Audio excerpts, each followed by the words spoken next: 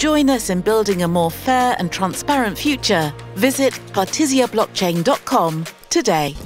Welcome to D'Crypt, the series that decodes and demystifies everything blockchain, crypto finance, and cybersecurity.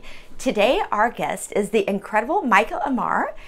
Uh, I say he's incredible because of the high impact of his award winning work promoting the digital economy.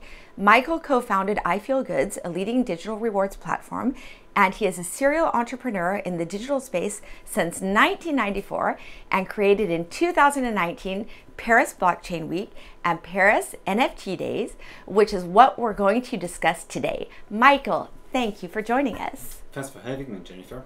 First of all, Michael, can you tell us your vision of Web3 and tell us why you don't think that this is just a buzzword? Um, I guess not. Actually, I, I, started my career in 1994 already in the digital space. And from then to now, I think there's only two things that happen the web in 1994 and the Web3 now. Why I'm saying that? Because I think the consumer didn't always, um, in, the, in, the, economy in general, the consumer didn't have always the fair value of what he was bringing to the table. And now it's changing because the consumer becomes an owner also of the project. Now let's get back to Paris Blockchain Week. Tell us about it and what you're the most excited about. Yeah, this is going to be an incredible week. It's been uh, it's, it's, going to be our third edition, but we're expecting over 2,500 person per day for three days. The first day being Paris NFT Day, uh, which is going to gather celebrities. For example, the coach of Serena Williams, who's going to announce a big project, but also people like Sotheby's, how they're approaching art and NFTs, and Sandbox, the co-founder, who is talking about you know uh, the largest uh, metaverse out there. Um, so th there will be also an experiment area where you can actually see digital arts. You can uh, go to live auctions of NFTs, but also learn about NFTs and what's an NFT, how do I buy one, how do I secure one. So I think it's really an opportunity for brands, for investors and corporates to actually enjoy and feel what's an NFT in this revolution. So really, we have the makers of this industry, the biggest name, uh, just you know close by at the Palais Brongniart. Now, can you tell us what motivated you to create the Paris Blockchain Week, which is, by the way, and congratulations, the largest event of its kind in Europe? Back in 2018, I was discussing with a few of the largest players and told them, hey, you should you know, bring your HQ in Europe in, in Paris. I said, come on, Michael, Paris is about baguettes and tourism and not about crypto. And uh, it was pissing me off, to be honest with you.